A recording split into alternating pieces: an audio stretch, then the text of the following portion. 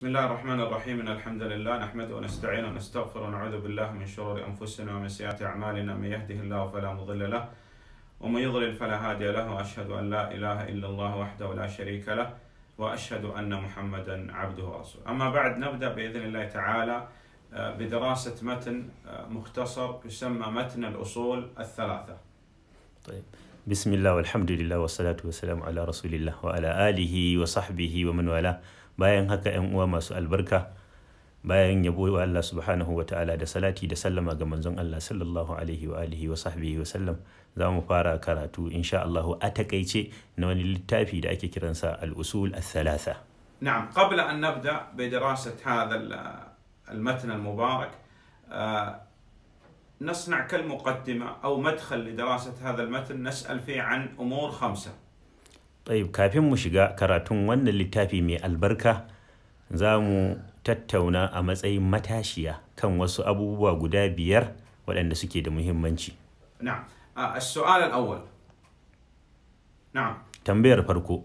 Limadha nadrusu tauhid don me yasa muke karatun ilimin tauhidi لو قال لنا قال لماذا ندرس التوحيد؟ لماذا لا ندرس الفقه مثلا أو الأصول أو الحديث أو ما إلى ذلك؟ idan da wani zai ce me yasa ba za mu karanta usulul fiqhi ko ha- ilimin hadisi ko wani ilimin daban ba me yasa muka ce tauhidi a farko نعم ندرس التوحيد لأنه حق الله سبحانه وتعالى على العبيد za mu karanta tauhidi ne na farko saboda haƙƙin Allah ne akan bayinsa خلقنا حتى نوحد الله an halicce mu don mu ha- don mu kaɗaita Allah لا يقبل الله سبحانه وتعالى أي عمل إلا بالتوحيد Allah ba zai karbi kowane aiki ba sai in an yi shi da tauhidi ولا يدخل الجنة إلا موحد ba mai shiga aljanna sai mutum mai tauhidi تكثير الحسنات idan mutum ya yi tauhidi to kyawawansa za su yawaita تكفير السيئات tauhidi yana kankare munanan ayyuka دعوة الأنبياء والرسل عليهم الصلاة والسلام وأتباع من بعدهم tauhidi shine abin da annabawa da waɗanda suka biyo su da kyautatawa a bayansu suka yi da'awa zuwa gare shi ثم قد يسألك إنسان يقول هل أنت موحد؟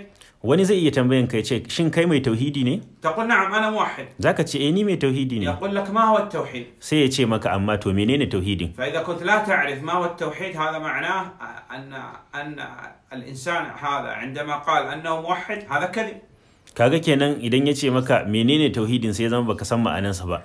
Zai zama kenan abin da ka faɗa na cewa kai mai tauhidi ne. Ƙarya ne. Thumma idza sa'alak sa'il wa qala hal anta mushrik? Idan wani ya zo ya tambaye ka to kai mushriki ne? Mai shirka? Taqul a'udhu billah. Ana lastu bi mushrik zaka ce a'udhu billah ni ba mushriki ba ne tayyib. إذا كنت لا تعرف الشرك فلعلك واقع في الشرك الأكبر وأنت لا تدري. kenan in har ya zama baka san menene shirka ba la'alla a aikace kana aikata shirkan baka sani ba إذا أوجب الواجبات وأول الواجبات تعلم التوحيد. kenan wannan ya nuna cewa farkon abin da ya fi zama wajibi akan kowa shine ya tsaya ya koyi tauhidi السؤال الثاني طيب لماذا اخترنا هذا المتن الأصول الثلاثة؟ كتب كثيرة مؤلفة التوحيد لماذا اخترنا هذا المتن. ان والله فليتتفى علم التوحيد ليتتفى دهوا تو me yasa muka ce sai usul salasa? Da shi zamu fara. نعم لاننا طلاب والطالب لابد يرجع إلى النهج والطريق الذي خط لنا العلماء حتى نصل إلى ما وصلوا اليه نعم saboda mu dalibai ne. Dalibai kuwa dole su bi hanya da maluma suka tsara musu. نعم السؤال الثالث ما هي الاصول الثلاثه باختصار to a takaice menene al-usulul thalatha الأصول الثلاثة باختصار هي أسئلة القبر أشياء تسأل عنها في قبرك من ربك وما دينك ومن نبيك عليه usulul الصلاة thalatha shine tambayoyin da ake yi wa bawa a cikin kabarinsa za a tambaye mutum a ce wane ne ubangijinsa wane ne annabinsa menene addininsa نعم السؤال الرابع ما هي الثمرة؟ ما الفائدة من دراستنا لهذا المتن المبارك؟ تنبيا تهدو. إذا مك كرنت وأنا للتافي من البركة أصول الثلاثة وشفائدة زامو سامو الفائدة هي أننا إذا تعلمنا الأصول الثلاثة وعملنا بها ودعونا إليها وصبرنا على العلم والعمل والدعوة إذا صنعنا هذا الآن هنا في الدنيا بإذن الله نجيب عن أسئلة القبر. فائدة دزامو سامو ما يجرم شيني إذا هر مك كوي وأنا إلمي مك سنشي إلمنشي.